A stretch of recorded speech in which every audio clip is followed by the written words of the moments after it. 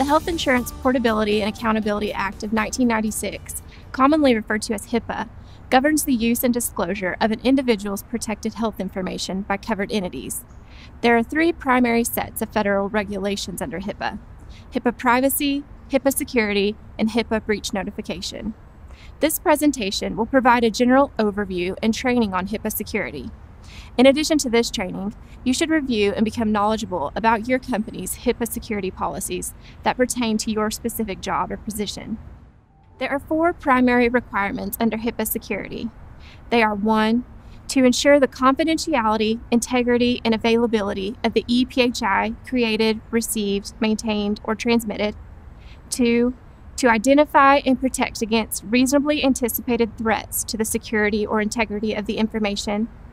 Three, to protect against reasonably anticipated impermissible uses or disclosures. And to ensure compliance by members of the workforce, employees, trainees, and others under the supervision of the covered entity.